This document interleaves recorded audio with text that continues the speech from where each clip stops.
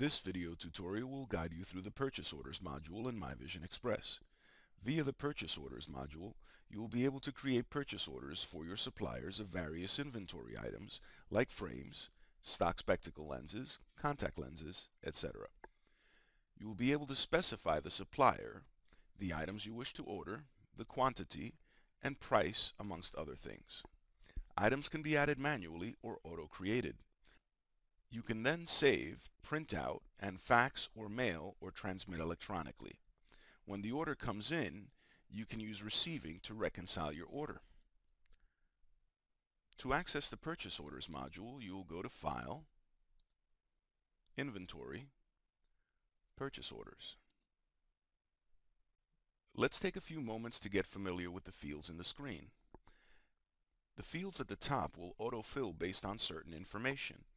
The PO ID and PO date will be generated when you save the purchase order.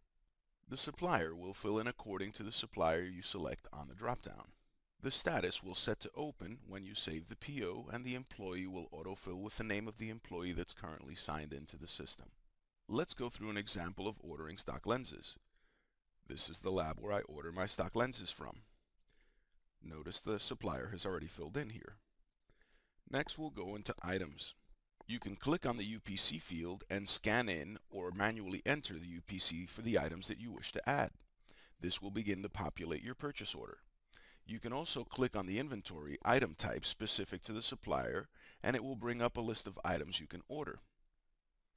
Let's click on lenses. Notice that it brings my list down to only the lenses that I have available in my inventory with stock configurations.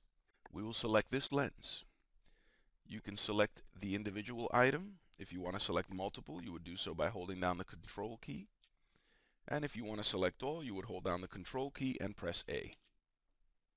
And select. Notice the source of these has been set to user defined. And the default quantity is 1.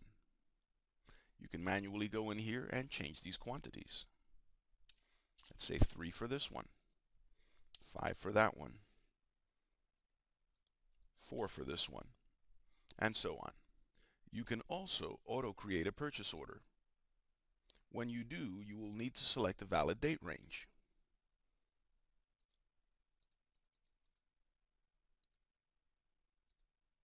and hit Create.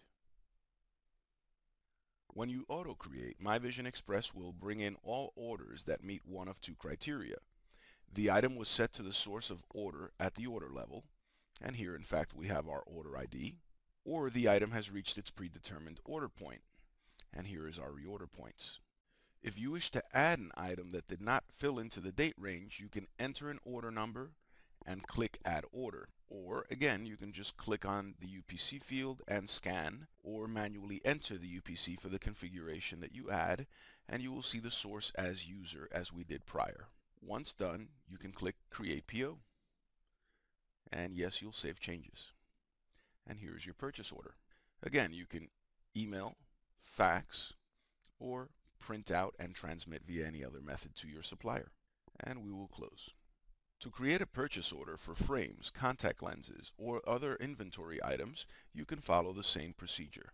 Clicking Edit the PO will change the status of the purchase order to Hold, and you can go in and edit the purchase order.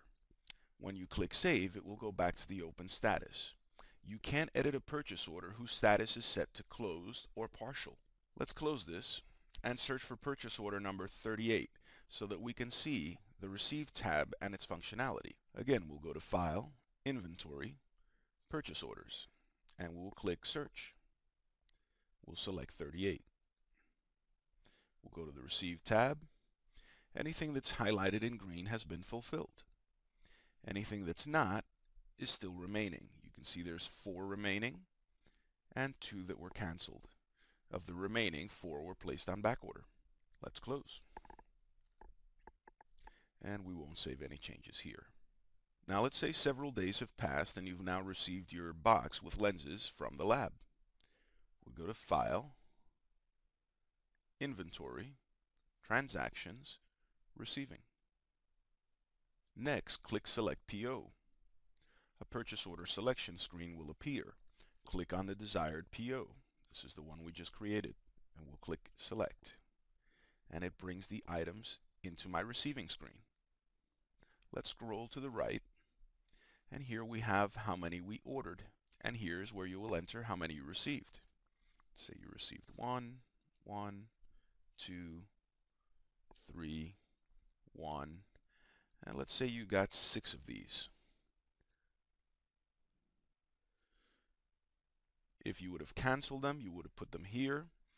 If, let's say your invoice says 10, but you only have six lenses in your box, then those would be missing or missed, and you would put in a missed reason here. Remaining quantities would be here. If you back ordered something, you would put in here. Notice the remaining quantity updated only when I clicked off the receive field. It now correctly shows 4. Let's put 4 on back order. If you canceled any, you could have put here a cancel reason. And scrolling all the way to the right, you will see that there's a notes field that you can put in a note for each individual line item. Notice that the cost comes in with the regular cost that's associated with the inventory item. Since these are stock lenses, we know that they had a lower cost. You can come in here and change the cost accordingly. Let's say this cost you 450. 450. And we'll make them all 450.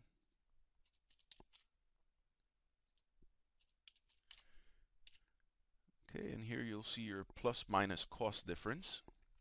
Let's update our on hand.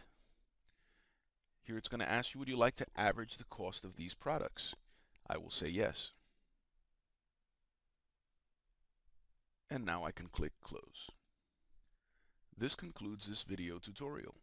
Thank you for watching. Please remember to visit us at Support Central where you can view additional video tutorials.